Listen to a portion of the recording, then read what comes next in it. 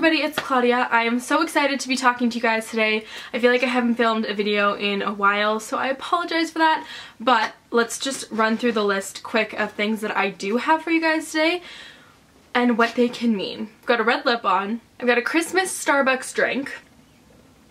Mm -hmm.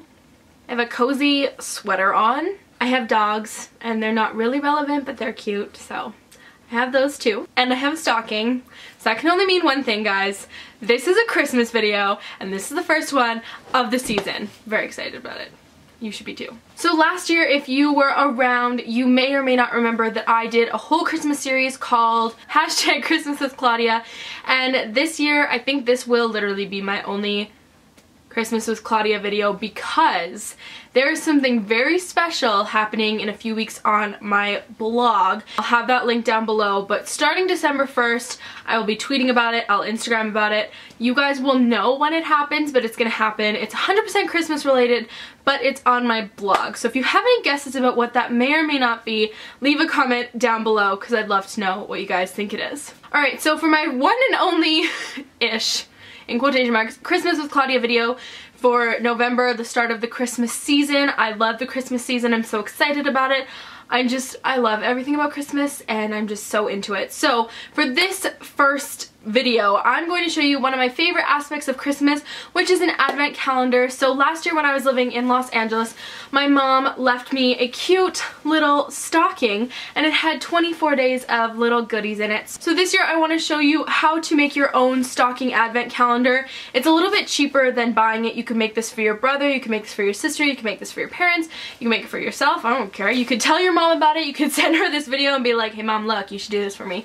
But it's a really fun way to kind of get into the Christmas spirit and not go buy a box advent calendar or just get chocolates every day and I'm going to show you kind of some of my ideas to put in the advent calendar but it's just a really really fun idea. I loved it last year and so I really wanted to show you guys this video and hopefully get you inspired a little bit for the upcoming season but I felt that this video was a good time to go out because it's still November so you have some time to go shop if you're planning to do this for yourself or for someone else but I just thought you know let's all start the Christmas love and I'm so excited about it and I'm just this Christmas I feel is gonna be a good one in all aspects of Christmas. So give this video a thumbs up if you're excited for Christmas and let's just get into the Advent stocking portion of the video.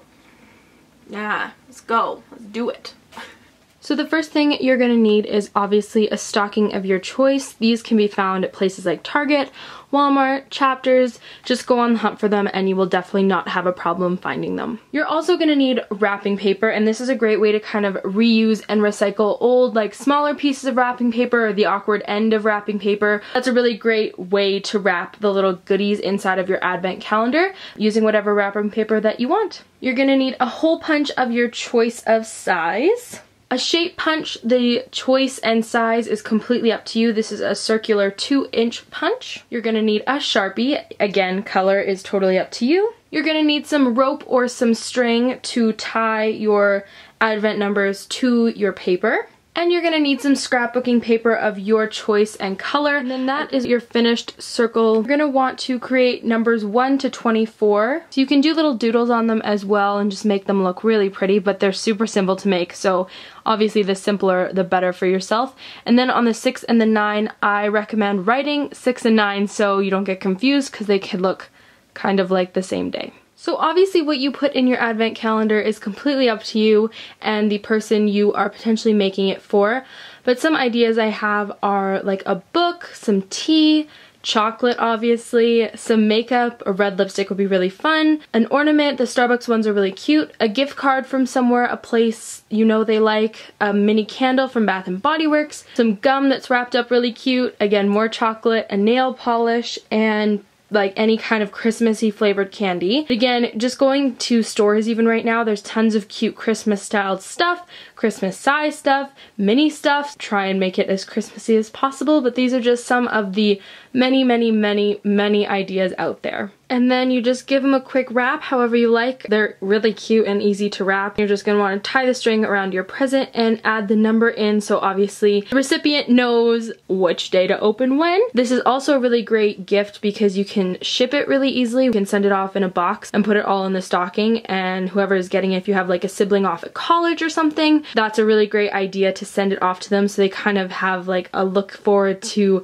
coming home countdown whenever they come home. You could also just fill it to the day they get home and then continue on once they are back at your house. This is also a really great gift idea because it's inexpensive or as expensive as you want it to be. Again, it's an awesome, super versatile, customizable gift. And my last tip is once you are filling the stocking, make sure you put 24 at the bottom and fill backwards because that way your recipient is not digging all the way to the bottom to try and find number one. So